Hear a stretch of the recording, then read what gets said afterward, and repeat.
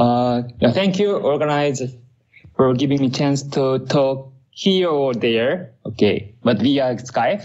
So, so actually, it's the first time I try giving a talk via Skype. So I don't know actually it works or not, but uh, hopefully, I think uh, it's work well. So today I will try to talk about the convex real projective uh, projective dense. Okay.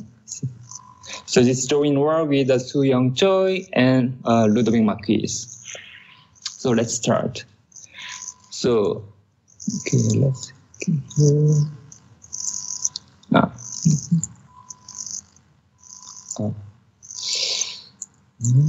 Uh, so yes, so motivation start from the, this uh, Thurston-Dehn filling theorem, uh, which is that if the interior of compact three manifolds M where the toral boundary, so it's a, we have a torus boundary, admits a complete hyperbolic structure of finite volume, then almost all Dehn fillings of M admit a hyperbolic structure.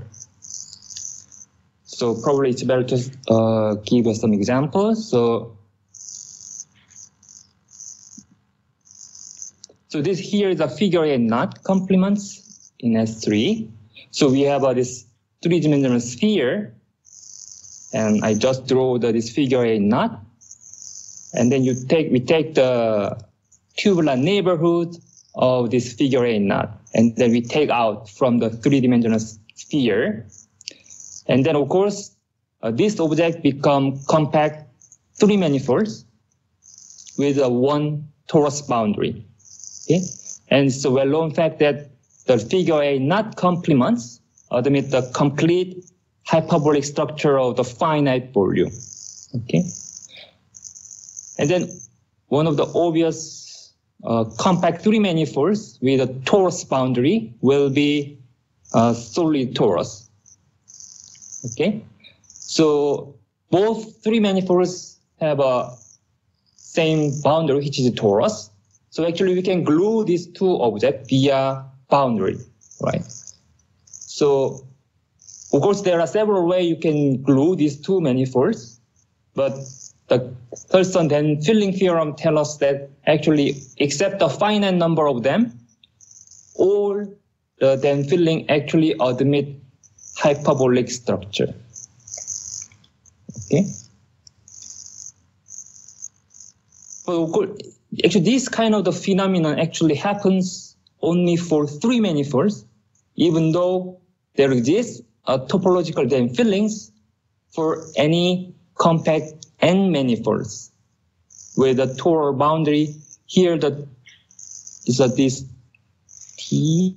So let's see pen. So this one is a S1 cross dot dot dot S1. So n minus one times. So it's toral boundary. And obviously there are another compact manifold with the same toral boundary, which is a, a disk times t to the m minus 2. So again, topologically, we can uh, we can have uh, this Dehn filling. So we can glue the original manifolds M and this, uh, let's say, two solid torus along the boundary. But the, the problem is that now, even if the interior of this n manifolds admit hype, uh, this hyperbolic structure of finite volume, actually no Dehn filling of this M admits a hyperbolic structure. So one of the main reason is that here this uh, this torus, so if you this boundary is uh, exactly the, this t n minus 1, this torus, but the n is bigger than 3, then it has a, it, this torus has a abelian subgroup of the rank uh, bigger than 1. So this, of course, this, uh, this abelian group cannot be inside this hyperbolic structure. Okay. But the motivation is that actually okay, so hyperbolic structure is impossible. Then actually, can they admit the larger geometric structure? So I explained what it means for us a larger, but another motivation is that actually the Anderson and Bamler prove that the many features of the Dehn filling theory for hyperbolic three manifolds can be generalized to Einstein metric in any dimension. It's meaning that, so let's start with the, this compact D manifold as M-manifolds, An interior admit a uh, finite volume hyperbolic structure. Of course, the Dehn filling does not admit the hyperbolic structure, but actually, except a finite number of them, almost all there are actually admit Einstein metric. So somehow they enlarge the, this hyperbolic structure to the Einstein metric, and it's actually get the this surgery theorem. So in this way, uh, in general, it's hard to construct the Einstein metric on this closed manifolds, but using a surgery, actually, we can have uh, this several this uh, example. Okay, so what I mean is the geometric structure here.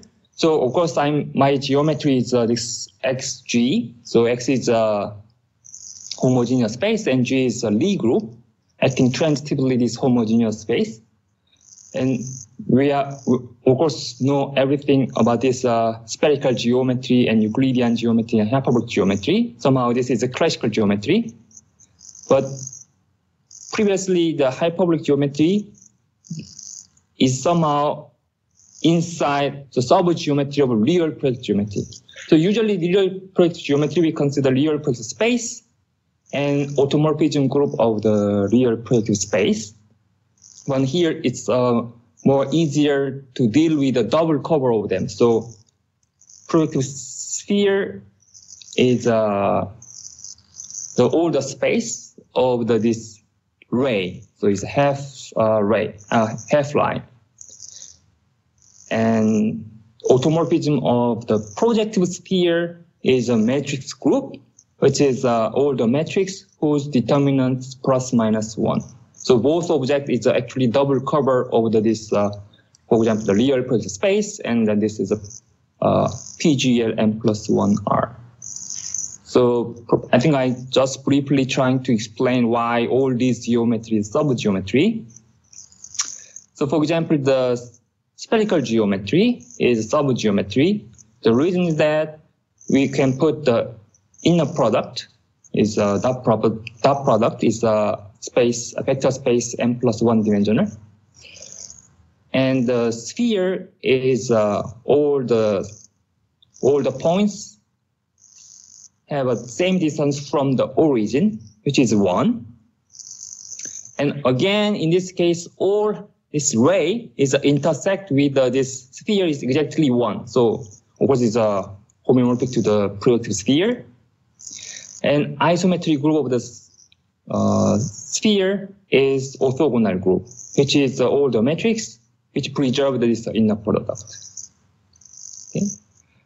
And the Euclidean space also we can consider as a subspace in a projective sphere in such a way that the Euclidean space is lie on uh, this coordinate, which is the last coordinate is the one. And then again, every this array is intersect, uh, should be intersect with the n most one point. So in other way, in a Euclidean space also uh, sub subset of the, this projective sphere and isometric group of the uh, Euclidean space is exactly the matrix we can write down in this form. So A, B, and 0, 1 is this block form, and A is the orthogonal group, and B is a vector. So it's a Euclidean isometry. And the lastly, hyperbolic uh, geometry, also the subgeometry, is instead of taking the inner product as before uh, for the sphere, we take the Lorentzian product and our space are n comma 1. And then hyperbolic space is a space whose distance is become minus 1. And then there are of course, we have a two seat of a hyperboloid, and then we take the only one, which is uh, last cone is positive. and then again the this the uh, every ray is intersect with uh, this hyperbolic space and most one point. So hyperbolic space is a subspace in a projective space, a projective sphere. And this group of iso isometric group of the hyperbolic space is a sub subgroup in this SL plus minus. In particular, this uh, older matrix which preserve the hyperbolic space. Okay, so in this way we can uh, put the, all the classical geometry into the projective geometry. So obvious, my consideration is that we're trying to generalize the hyperbolic structure to the projective structure. And one another, okay, so of course, uh, in, in, small dimensional case, all these, uh, for example, the, this uh, all the surfaces admit the projective structure. And one remark is that this old structure actually has a, this property is a convexity. So what it means is a convex. So a subset omega is convex if in intersection with any gray circle is connected. So it's a, of course this gray circle is corresponding to the two-dimensional vector space. And in intersect with the intersection is connected. And it is properly convex if in addition its closure does not contain any antipodal point. So for example, let's try to give us some examples. So this is a sphere is convex because all the intersection is actually the gray uh, intersection with the gray circle is a gray circle, so it's connected, so it's a convex.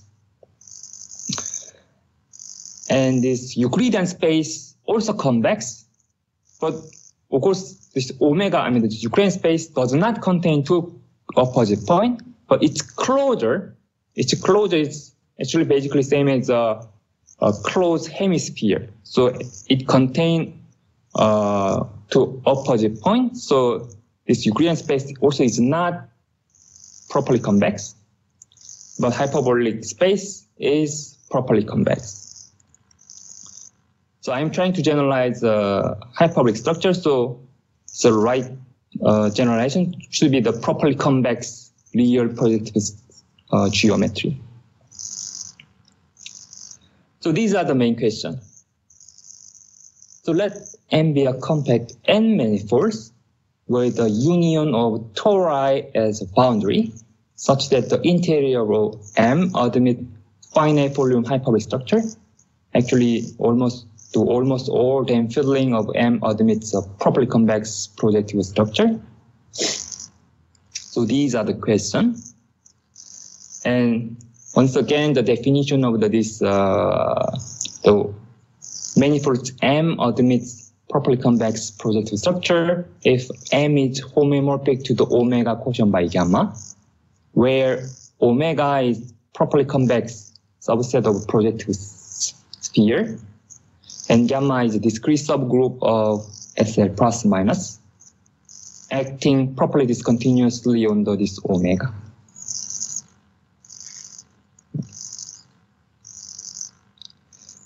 So in general, it's very hard to construct those example. So now we're trying to do more simple example in a sense that I'm trying to uh, deal with a particular orbifold is uh, actually reflection orbifold, also called the Coxeter orbifold. So I'm trying to first introduce this uh, object Coxeter group. So right to construct the Coxeter group, so we need this Coxeter system, which is a pair of a finite set S, so it's S and M. So S and M is a symmetry matrix uh, such that all the diagonal entry is one and the other entries, so off diagonal entry should be uh, two, three, and and including also the infinity. So these are the Coxeter system. So whenever we have a Coxeter system, we can have a Coxeter group. So how can we can generate this Cox group? So the group W, who has a group presentation. So here the generator should be the set S, and the relation will be uh, ST and M to the uh, to the MST power, and then this is uh, will be the uh, relation. So for example, S and T is uh, same, then SS to the one. So S square should be the one. So it's a, and similarly we can uh, of course that this MST is different uh, is uh, same as uh, infinity, then there's no relation. So this is a Cox group. All of this uh, information actually encoded in uh, one graph, which is a labeled graph. We call the Cox graph. All the vertices are elements of S. And then we put the edge between them whenever uh, MST is different from 2. Okay. And then we put the label of the edge should be the MST, which is, uh, we can, it should be the 3 or the infinity also. Okay. So now I'm trying to give a one example. So these are the example. So Cox system is uh, this contain this symmetry matrix. So of course one one one is uh, diagonal, and then off diagonal I put the two, three, and infinity. And then from this Cox, uh, maybe I can also use. Uh, so from the, this Cox system, we can have uh, this Cox group. So we have a three generator, right? So it's uh, S1 and S2 and S3. And then these are the relations. Uh, S1 square, S2 square, S3 square is coming from the, this diagonal entry. And then, for example, here we have two, right?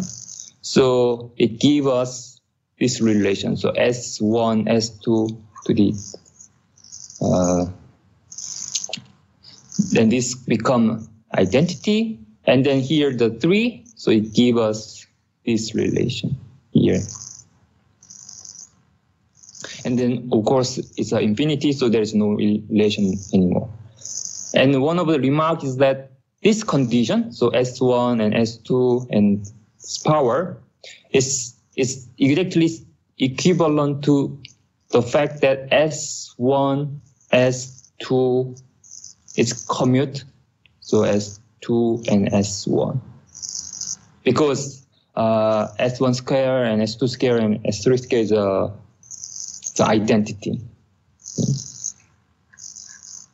So again, so this uh, S1 and S2. So here the we I draw the S1. So this is uh, S1, S2, and S3. And S1 and S2 is because 2, so there's no edge. And then 2 and 3 has uh, this label 3. You can put uh, this 3. And then also here I put, oh, here, okay, so this is uh, infinity here.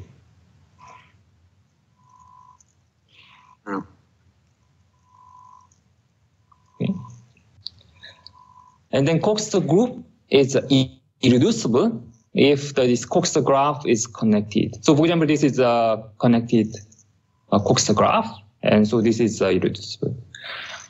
So actually this uh, example actually coming from the, this hyperbolic uh, reflection group. So you, I just draw the Klein model of the hyperbolic space. So H2 and then I draw this triangle. So here I, the dihedral angle should be pi over 2. Here is a pi over 3. And then this is 0, right? So here, for example, the, in this situation is uh, if you reflect so whenever you have a two reflect two reflection and composite them, it's become rotation. So then exactly we can get this Uh, reflection group is has a, this group presentation is this Coxeter group.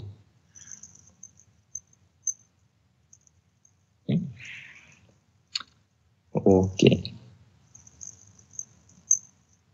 And if the, this W is irreducible Coxeter group, then W either spherical or fine or large. So here the spherical mean that this W is finite. So this spherical, this means is finite. And this affine is mean that virtually uh, abelian. And large is mean that it, it contain a finite index subgroup which subject to the free group of rank bigger than one. Okay? So obviously we are interested in uh, this large Coxeter group.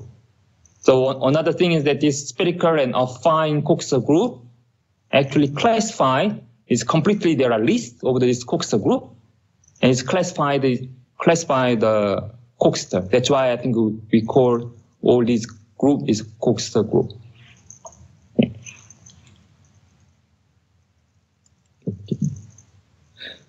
So before going to the four-dimensional this object, we try to understand the dimension three. Of course, of course we have uh, this uh, Thurston tensor theorem for the manifolds. But as I told you before, in general, it's hard to deal with the manifold. So we will use some orbifold. It's basically the, it's the same as this uh, polytope whose dihedral angle is submultiple of pi. So this Andreev theorem is uh, is a version, it's an orbifold version of the, this uh, Thurston tensor theorem. So let's start with the, uh, so here, whenever I to put the G, is a combinatorial n polytope. Ah, okay, and okay, so here the HG, okay, here HG means that actually the is okay, it's more in this setting is a co-dimension uh, co-dimension two phase. Okay, so co-dimension two phase is a rigid actually, and then we put the this angle, so theta e is a pi over m, so it's a multiple over pi. And then these two information we will call labeled n polytope. So of course you are familiar with orbifold. These are actually the same information as this reflection orbifold. It's a, the topologically is a polytope. And then the singular locus is a boundary of the, this polytope. So Andreev theorem is for the, actually the dimension three. Ah, and then the space of the hyperbolic uh, n polytope, which realize in G, and we quotient by this isometry group. So these are the, uh, in terms of the orbifold is a hyperbolic structure on an orbifold. And then the, here the terminology is Coxeter is meaning that all the dihedral angle should be the submultiple of pi. So these are the space. And then Andreev theorem is the following. So we have this two combinatorial data, which is orbifold. So if you look at the difference between the left and right hand side, so here we have, this, the vertices whose balance is four. Okay. Of course, whenever we have this, this kind of vertices, if you perturb a little bit, then there are two cases. Okay, you can split in this form, or you can split in this way. Okay. So this is one direction. So if you look, and so here I put the dihedral angle. So it's pi over 3. and pi over 3 and pi over 4, this edges. And then if I didn't put the angle here, it means that everything is pi over 2 is right angle. Okay, so for this one is right angle and these are the right angle. I didn't put the label, it means the right angle.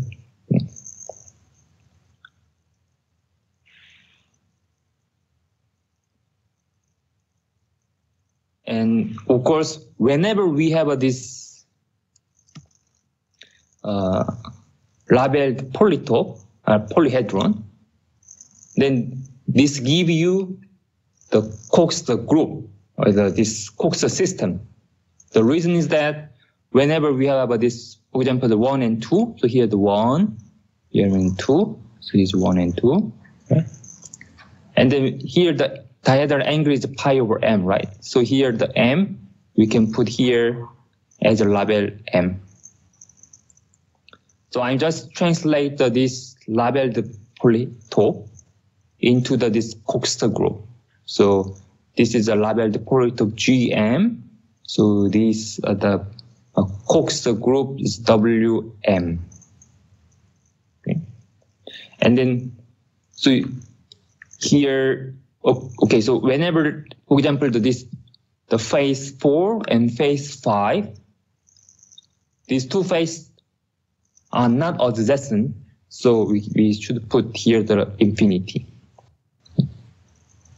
Is similarly, at, in the left hand, this polyhedron is 1 and 2 is adjacent, and angle is pi over m. But in this case, the 1 and 2 are not adjacent, so it's infinity. Ah, here, of course, the adjacent means uh, the intersection should be the codimension 2 face. So in this case, it's, uh, of course, intersection is vertices, but it's, it's not considered as adjacent.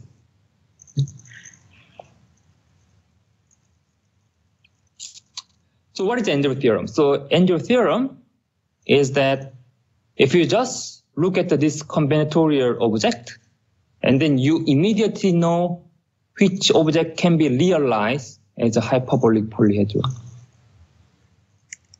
So here, this is actually Andreev theorem is for the general statement, but uh, I'm just trying to give a one particular example and then trying to explain the what is the theorem.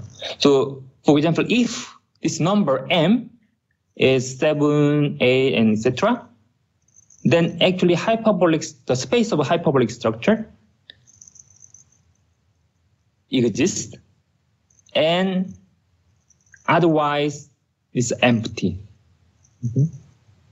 So actually we can easily see this fact because, for example, here is a triangular prism. Oh, okay. And then we consider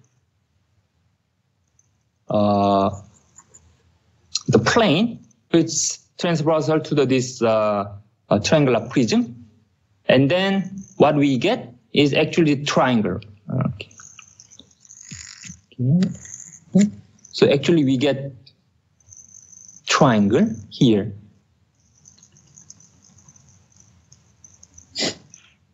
Okay.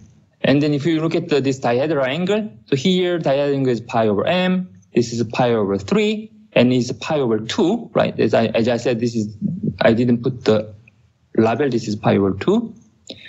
And then this angle sum, I mean, if you assume that this, pre, uh, this triangular prism can be realized as a hyperbolic polyhedron, it should be, this angle sum should be less than pi. So exactly that means m should be bigger than 6. So from the 7 to etc. But in the important point of the Andreev theorem is that that's enough to guarantee that actually this combinatorial polyhedron admit the hyperbolic structure. Okay. So one direction is easier, but the other direction is more compl- uh, difficult part. So only this condition actually guaranteed that because okay we should have this hyperbolic triangle so it should be m should be bigger than 6 but that's enough to guarantee that actually these polyhedron the three-dimensional this polyhedron is uh, realized as a hyperbolic polyhedron Okay. So here, uh, okay. So here actually you can see that this uh, uh, surgery. So what I mean is that m start from the let's say seven, and then we m is going to infinity. m is more and bigger and bigger, and then this angle is getting smaller and smaller, right?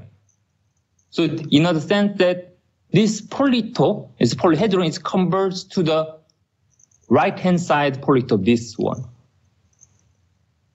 Okay, so and then this uh, right-hand side actually, so this here that I drew this vertices here. Actually, this uh, this uh, is uh, okay. This blue blue vertices. Okay, so this vertices is the ideal vertices on the boundary of hyperbolic 3 space. Okay. So this object is a finite volume. Uh, it's a, it's a hyper, uh, polyhedron. This is a finite volume. And then if we do the surgery, so actually left-hand side is a surgery object. So left-hand side, it, it has uh, become compact.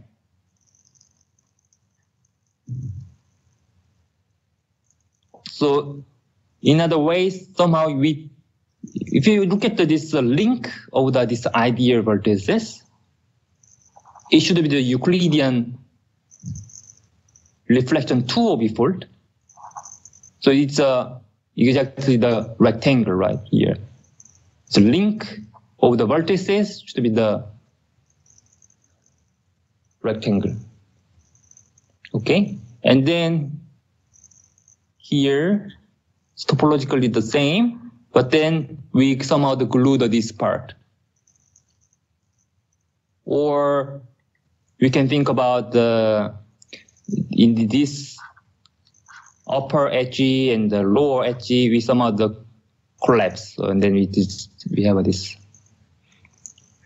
So in this procedure is basically the orbifold version of a uh, Thurston theorem.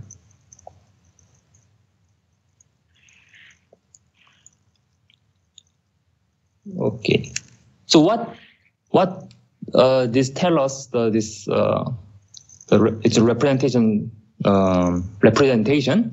So these are the Cox group W infinity, and we have uh, this Cox group to the this isometric group of the hyperbolic uh, space.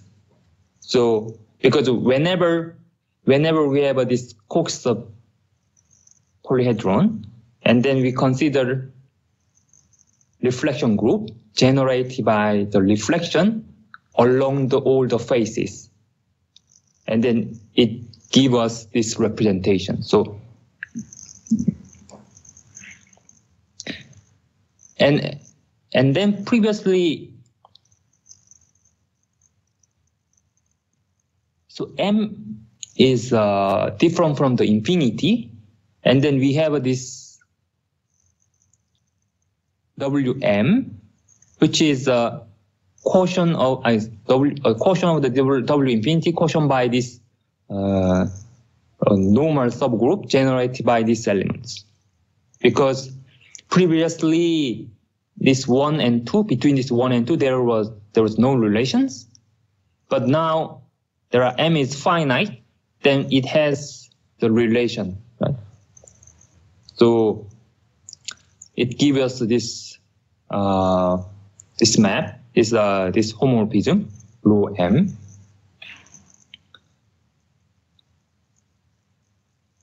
So first of all, this fundamental, so this PM, the hyperbolic polyhedron intersect with this hyperbolic space is fundamental domain for the, this group gamma zero, uh, gamma m, which is the image of the, this one. So as I said, this is a reflection group generated by this all the reflection with respect to this uh, phase. And previously I explained the m is the finite, of course, bigger than 6, then we have uh, this compact case. So this Pm is entirely inside hyperbolic 3 space, and gamma m should be the uniform lattice. Okay? But if m is infinity, then uh, again, as I said, the intersection with this boundary is uh, this one point, and gamma infinity is a non-uniform lattice.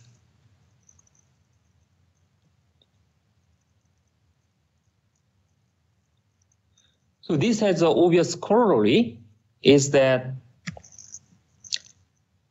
in we take any neighborhood of the, this omega infinity, which is coming from this finite volume uh, hyperbolic Cox polyhedron. And then there exists rho inside this neighborhood such that rho is not conjugate to the original one.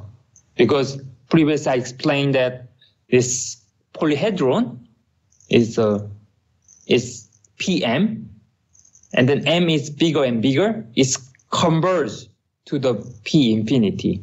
So representation also converges to the this uh, P infinity. So in other words, in any neighborhood, there exists which is diff essentially different from the this original low infinity. But this kind of situation is happening only three dimension. The reason is that the following uh, theorem by Garland and Raghunathan. So dimension bigger than equal to 4 and gamma is a lattice. Then there exists a neighborhood of the this canonical inclusion. It's mean that because the gamma is a, it's a subgroup of this isometric group of hyperbolic space, so gamma, uh, this rho infinity is a, uh, is a we consider natural inclusion, uh, canonical inclusion. Then the there is neighborhood of this inclusion such that every row is basically the conjugate to the original one. So in other words, say that if you deform the representation, then essentially the nothing changed. It's a conjugate to the original. So these are the big difference between the dimension three and higher than three. So that that also again tell us that there is no hyperbolic tensor for the higher dimensional case. So our strategy will be the somehow obvious. So let's change the target Lie group of the representation from uh, hyperbolic isometry to the this uh, SL plus minus. So it's basically we're trying to enlarge the hyperbolic geometry to uh, real projective geometry. So to do that, actually, uh, we should understand the Tits uh, Vinberg theory. So First, we let's try to define a project pre-Coxeter polytope. So this polytope is meaning that the pair P, which is a polyhedron in a projective sphere, is uh, described by uh, this half space. So intersection of the half space. So P is an intersection of all the half space in a projective sphere. Uh, here, so it here the alpha s is a linear functional is a linear uh, linear functional in uh, this here the dimension should be rm plus one right so whenever we have a linear functional it's defined uh, co-dimension one subspace and we take the have one one part. So this is less than equal to zero. And then for every facet, so every the facet means a codimension one face, then we put the reflection So it's a projective Coxeter polytope, uh, pre-Coxeter polytope is mean the polytope together with the reflections. We put reflection on every face. This means that, of course, reflection is you can describe as this form. So sigma s is identity minus uh, alpha s cross bs. Ah, so here again, alpha s is a linear function. So r n plus one star. And then bs is inside r n plus one. is a vector. So alpha s and bs is equal to two. It's meaning that any vector, any vector inside the corner of this linear function, a functional alpha s, then basically fixed point, right? So this reflection is fixed, s is pointwise. And for example, we put the vs, then sigma s bs should be bs minus 2 times bs, because the alpha s bs 2 equal to 2, we normalize in this way. So this is become minus bs. So bs is corresponding reflection vector, and the corner of alpha s is a hyperplane is fixed by uh, by point wise fixed.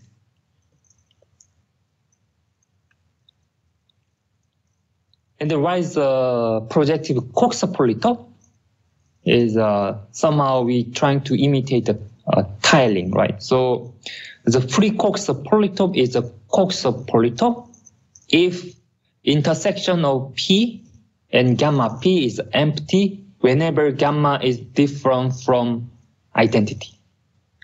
So, and then of course here the gamma is the group generated by this uh, reflection uh, previously assigned when we define this pre-Coxeter polytope.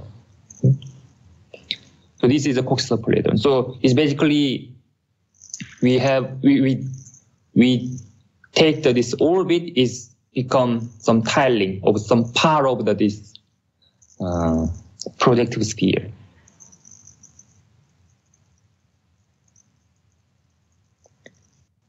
It's a very uh, interesting this the theorem by the Vinberg is that actually the very easy to check when this pre-Coxeter polytope is Coxeter polytope.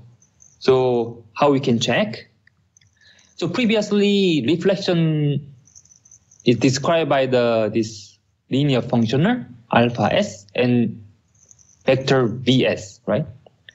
So we have uh, this s reflection, right? And from there, we can easily construct this matrix, which is the S times S matrix. We call the Cartan matrix. So A is a, is a alpha, uh, whose entry should be alpha S and B T. And then this Cartan matrix satisfies this condition. And actually that's is enough to check whether this pre-Coxeter polytope become Coxeter. So of course, previously we normalize such a way that alpha s b s equal to 2. So a s s should be 2. And for s is different from t, then all the off diagonal entry should be less than equal to 0 and one entry equal to zero, then the other entry should be also zero. It's the opposite one. And the, the con second condition is that we compose a, so multiply st and ats, and this should be bigger than equal to 4, or 4 times cosine square pi over mst for some MST inside here as a, a natural number, uh, of course different from one. So what is the mean actually? The particularly the second condition is uh, is somehow important. So we have we have a composition of the two reflections, so sigma s and sigma t, because composition of two reflections become the rotation, right? Rotation. But for example, in this situation, so this AST equal to ATS is 4 times cosine square pi over MST, exactly same as uh, this composition of the two reflection is rotation by 2 pi over MST. And for example, the, this AST times ATS, this quantity equal to 4. So this is equal to 4. So this one equal to 4. Then this composition become parabolic and is bigger than 4, then this composition of these two reflection become hyperbolic elements. And then key point is that this condition is basically guarantee that your pre-Coxeter polytope is a Coxeter polytope. So actually, I will explain the, the four-dimensional uh, polyhedron and then Coxeter group. But to check everything is fine, we just check this uh, Cartan matrix. Then that's enough. Okay.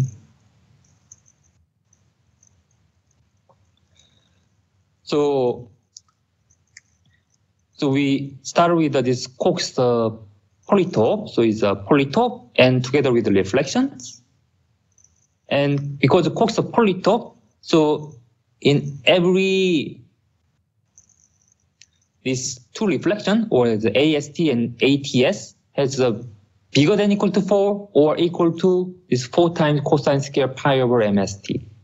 So obviously this information give you the Cox system. And then this Cox system give you Cox group, right? So of course all the Cox system should be all the this diagonal entry should be one, and then off diagonal one should, we put this MST here. And then of course is uh, this quantity is bigger than equal to four, then here the Cox system is entry should be infinity, right? Something like this. So this W is a Coxeter group associated to this Coxeter polytope. And gamma is a group generated by the reflection. So the Coxeter group, uh, the Coxeter polytope has this uh, assigned by this reflection, and then we consider its gamma, which is generated by this reflection. Then what is the theorem of the Tits and Vinberg? The representation rho, which is given by, so S is mapping to the sigma S. This representation is discrete and faithful. Okay. And moreover, we take the gamma orbital P. This is convex in a projective sphere. And this gamma obviously acts on this orbit over P, but gamma is act properly discontinuously on the interior of this gamma orbit. And that's why this intersection of P and this omega is a fundamental domain of gamma.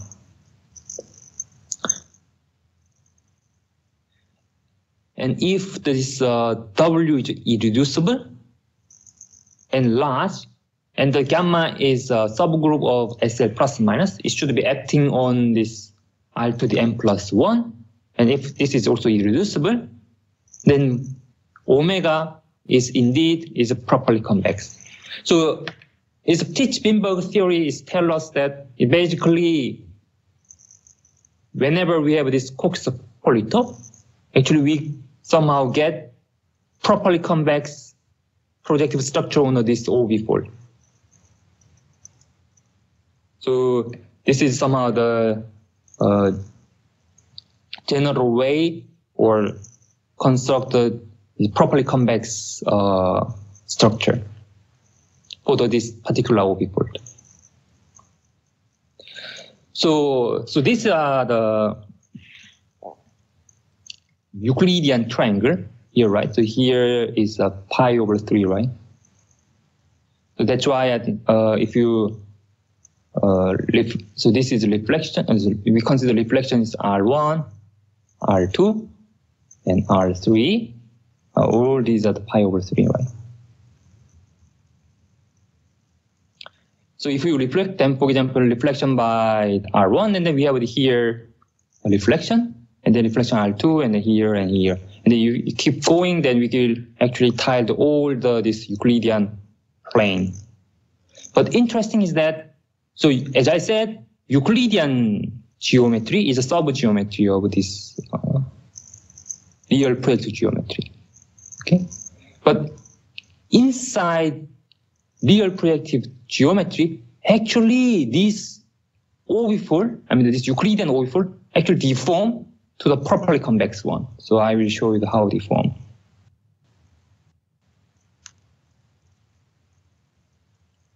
So see, so it's still this is a has a properly convex. This is a properly convex domain. So this this open triangle is actually the properly convex domain, and this previous Coxeter group, which is uh, has a, this group presentation from the, this Euclidean reflection, has a, this also admit uh, this properly convex uh, domain. So the main difference between the somehow the hyperbolic case and this properly convex uh, this real projective uh, geometry is somehow hyperbolic uh, space hyperbolic geometry actually cannot have uh, this abelian subgroup of, of rank bigger than one is inside some hyperbolic space. But the real projective geometry somehow can contain those this abelian subgroup. That's why we can actually do the surgery in the end. So now I'm trying to uh, exp uh, explain the how we actually what kind of object actually have uh, this surgery in dimension four. So this is a, I draw via the Schlegel diagram. It's previously I drew this triangular prism which is three-dimensional object. I project to the two-dimensional plane. So similarly, I'm trying to draw the four-dimensional polytope. And this polytope, I'm trying to project to the three-dimensional space. So now you are, uh, what you are seeing is that is a four-dimensional polyhedron, a polytope. Okay. And then I'm trying to explain the, some other analogy to the previous example. So these are the object actually doing via surgery. So where is the left one? So left one is here. So now I'm trying to draw this uh, uh, polytope, which is a triangle times triangle. So, so actually dimension higher than three is interesting things happening. For example, dimension three, every co-dimension one face is basically face is everything is adjacent then only possible polytope should be the simplex, right? But for example, in this case, this polytope is a combinatorially triangle times triangle. So what is the codimension one face? What is the facet?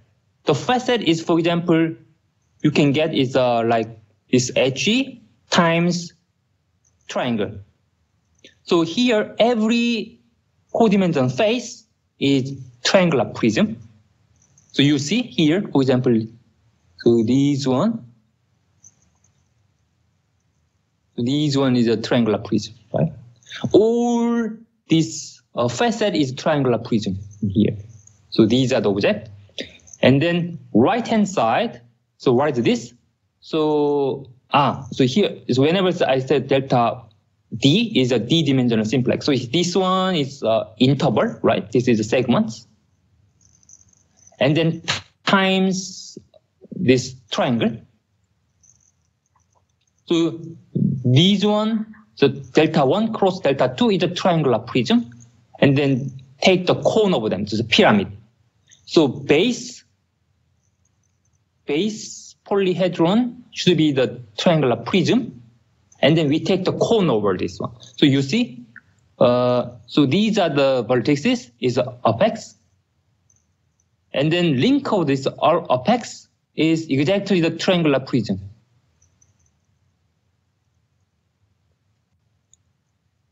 Okay, so this just now I'm this uh, how you can actually see this four-dimensional polytope. And then I'm trying to uh, give the, this uh, this dihedral angle on ridges, I mean the codimension two phase. Okay, because that's the information of the label polytope. So I previously I explained the, what is the combinatorial data is polytope, and then and then I'm trying to give a uh, how to put the, this labeling on the this ridges. So oh, okay, I already the uh, click them. So this is a the, for example that this this number one, two, three, four, five, six is corresponding to the codimension one phase, is a facet. And then, for example, I'm just uh, this red one, red facet is corresponding to this one. And then, for example, the two is the, the this one. This is another facet. And then I'm trying to give a, so you see, between these two facets, there are here intersection. So what I'm saying is that these two facets are adjacent. And then I give the dihedral angle here is a pi over m. Okay? And then somehow I'm trying to saying that m is bigger and bigger. In the end, m become infinity. Then you see, let's imagine that this intersection is, I mean, this triangle, the triangle becomes smaller and smaller, and then you will end up with this kind of the situation. So it has an infinity. So, and then actually we wanted to say that the right hand side, this four dimensional polytope actually can be, uh, I mean, the, with this, of course, this uh, labeling. So actually the one, so one is a red, this facet, and two is this blue facet. And then the third one, this one, is actually the outside of this uh, this one here, outside of this. So, and then four, five, six is uh, the facet is around this uh, the, the other these three uh, facet. Okay, so these are the data of the, this uh, combinatorial uh, polytope and the labeled polytope, and then actually the right hand side object actually can be realized as a polytope. And then this, again, this, I mean, this blue, the blue vertices is lie on the, this boundary of a hyperbolic space. And the left-hand side is over there is actually the surgery orbifold, surgery polytope. Okay. So let's see. So this is a definition. So for the notation, so CG is a space of the all projective Cox polytope, which realizing this labeled polytope G, and then of course quotient by this uh, uh, SL plus minus. And then if you're familiar, then just properly convex projective structure on orbifold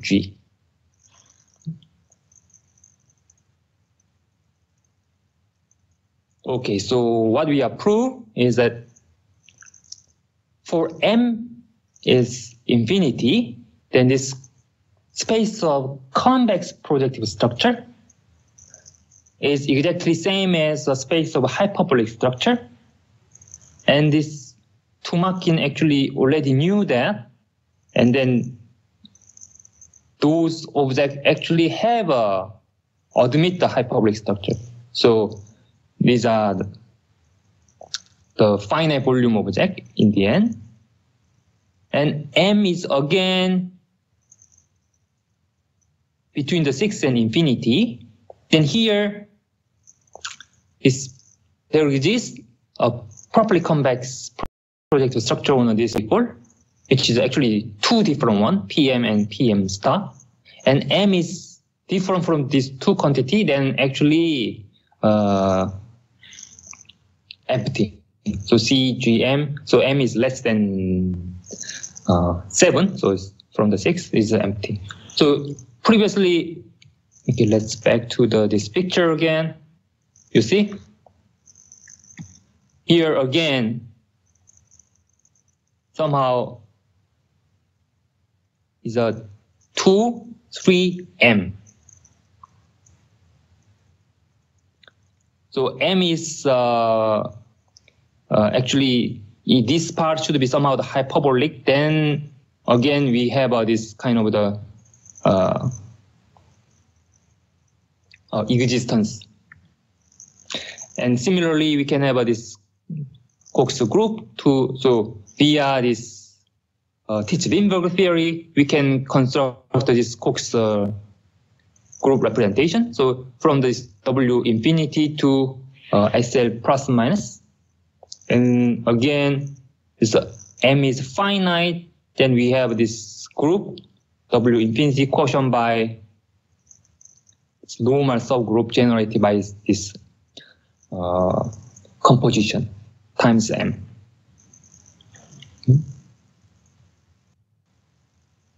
So somehow very similar to the previous uh, uh, description of the, this Andreev theorem, but uh, we use the Tits-Vinberg theory to get this convex projective structure.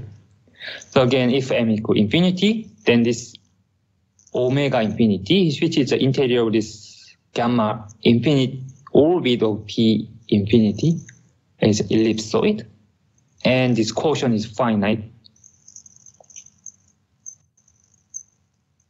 and m is between this number, then pm is completely inside omega m, and then quotient is compact. So, so if you look at this, is a Cox group generated by four, five, six. So what is this? This one is exactly the previous I explained this uh, Euclidean reflection from this triangle whose all the diagonal angle is pi over 3, right? So these are the, this Cox group contain, mean, the contain finite index subgroup, which is abelian of rank bigger than 1, right? Actually, virtually G2 this one, four, five, six. So that's somehow tell us that by theorem of the Benoist, this this omega m is not strictly convex. And uh, this boundary is not C1. Because omega is strictly convex if and only if uh, this group should be Gromov hyperbolic. But this Cox group uh, is not Gromov hyperbolic because it contains this uh, abelian part. Okay. So this corollary is is quite interesting because uh, as I said, in general, it also is quite difficult to construct this, those somehow exotic divisible convex set. But here we construct a, some other new example, meaning that there exists four-dimensional divisible convex domain, which contain properly embedded triangles. So here the, this abelian part is somehow contribute as a two-dimensional object. So originally this this domain is a four-dimensional, but it contains a triangle, not the tetrahedron. So somehow in this way is different from the previously known example, which is constructed by Benoist. So here these are the tetrahedron, the three-dimensional, these are the three-dimensional object, right? three-dimensional, three-dimensional object, and it has uh, this. Is you imagine this hyperbolic space, H3, and these are the ideal vertices because you see here three three three three three triangle group right here. So these are cos these vertices, and then you can put it here. But the, you can actually deform this uh, tetrahedron. So somehow in hyperbolic setting, you cannot actually get this ideal vertex is, is put it out without changing this dihedral angle, right? But you can do in a projective setting. So you can put it out somehow, then you can actually cut the these vertices. Then you will end up with a triangular prism. And then you can consider actually reflection with respect to this face. Okay. So you will get this kind of the compact object. So as I said again, I didn't put the label. It means that the right angles. All these are the right angle, except these those one. And again, you see here, we see the triangle whose dihedral angle is pi over 3 and pi over 3 and pi over 3. This is the abelian subgroup of rank 2. So these are the three-dimensional three convex, uh, divisible convex domain. This is a three-dimensional. Oh, three-dimensional. And it's contain abelian subgroup of rank 2. Rank 2. So difference is a codimension 1. Okay?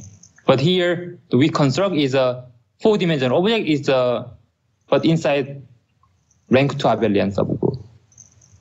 So so main is uh, these are some of the different uh, properly convex domain, which is not uh, strictly convex. Uh, thank you.